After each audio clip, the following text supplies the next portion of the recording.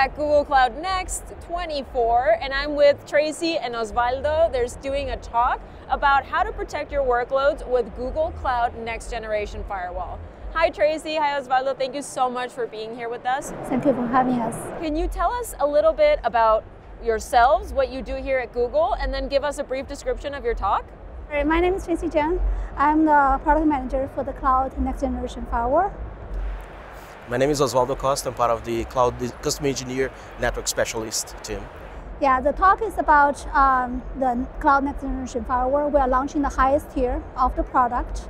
and and with the partnership with Palo Alto Networks, we're also inviting our customer Walmart to speak with us and share their experience. Amazing. Okay, that's awesome. So I can't wait to watch that talk. I'm excited. I won't be able to make it in person, but I'll definitely watch the recording. So let's talk a little bit about this, right? Can you tell me how does Google Cloud's next generation firewall go beyond the functionalities of a traditional firewall to address kind of modern cloud specific security needs?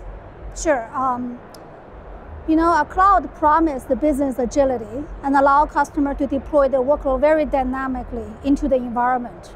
But that presents a very unique challenge to network security. So now you have to provide the security to those dynamic workload whenever they're coming up somewhere in your cloud. And that is difficult. That's why we are taking actually a very different architectural approach than the rest of the market. We build our firewall as a fully distributed firewall service that's fully integrated into our software-defined network. So now we have a mini firewall engine that follows every workload that you put into our cloud. That's what security follows the workload look like. On top of that, we enforce the hierarchical policy because customers always struggle with how do I apply the consistent control across my dynamic environment. Now in Google Cloud, we allow them to put the firewall policy to the organization or folder level, so the security team can easily put a global guardrail to all the workload that they put into the cloud without worrying about the security being violated somewhere in some project, right? Furthermore, we bring uh, the best um, threat detection capability and response capability from Palo Alto Networks as our partner to integrate that directly into our firewall system so we make it very easily accessible through every network interface in our cloud. And on top of that, we implemented integration is a secure tag as a very effective and reliable microsegmentation mechanism to solve the long struggle that customers face in doing the microsegmentation and does the east-west control to prevent the lateral movement of their threat. So altogether, a lot of functionality, so we look forward to share with our customer. Wow, that's amazing. And of course, security is always a priority and extremely important. So thank you for doing all that work to protect our cloud environments. Amazing. So in terms of this new next generation firewall, can you tell me how easy or challenging it might be to, for it to integrate with tools that we're already using? Yeah, absolutely. So Google Cloud NGFW, it allows being configured through the, same uh, ways as other Google Cloud products. So through the console, through a command line interface, or the API, which makes life easier in terms of provisioning. And also Terraform, which is a key provisioning tool, is also supported. Um, on top of that, those type of solutions typically generate a lot of telemetry data. So all that information with Cloud NGFW is going to be available natively in Cloud Logging. And from there, you can extract, you can export, for example, to existing tools using uh, tools like tool, um, PubSub, for example. And another thing is Google, Cloud, uh, Google Chronicle is also uh, supports a native integration with a native ingestion, so you can uh, get those logs, parse them, and provide a way to analyze, detect, uh, and take action on those security events if applicable. Okay, so I'd say that's pretty easy and not that challenging. It integrates into a lot of tools that we're already using most of the time, right? So we don't have to go out of our way to use it. So from the work you've been doing with customers, are you able to highlight, you know, a few specific use cases or customer experiences that you can share with us?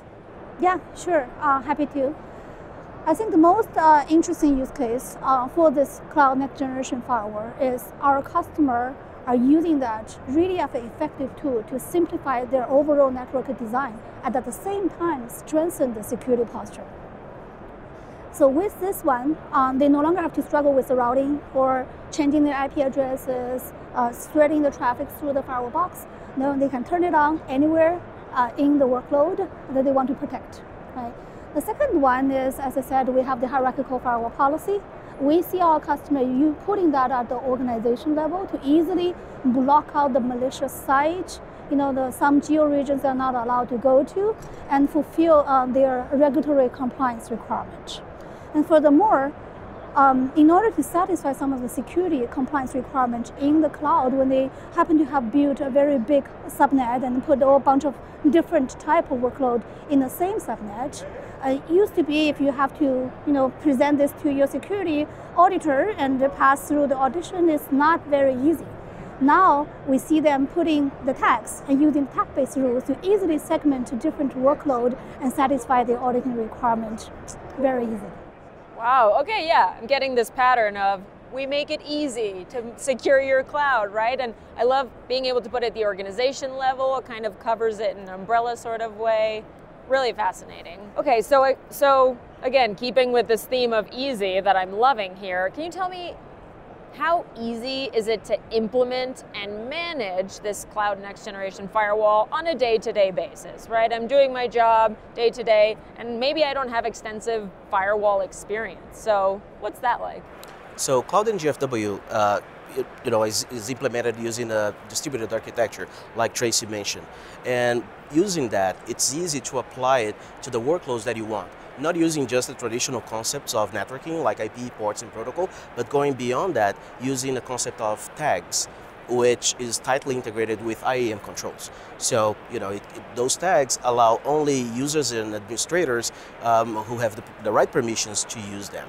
With intrusion, uh, intrusion prevention rules, it's set at the rule action, so you can apply that at a very granular level to only those flows that, that apply, so not everything. So with that said, you can insert uh, those types of functionalities um, in a non-disruptive way um, and without needing any route re-architecture. And in terms of integration, like we just talked, it can be integrated with all the existing tools, uh, both, both Google-owned or other vendors.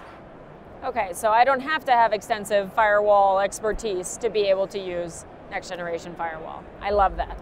All right, well, thank you so much for being here today. I really appreciate you, and I'm so excited to watch your recorded talk. We'll also link it in the description, so make sure to check it out so you can see Tracy and Osvaldo go into more detail about Cloud Next Generation Firewall. Thank you so much for being here with us. Thank Thanks for having us, Debi. And let us know your thoughts in the comments. What do you think about Cloud Next Generation Firewall?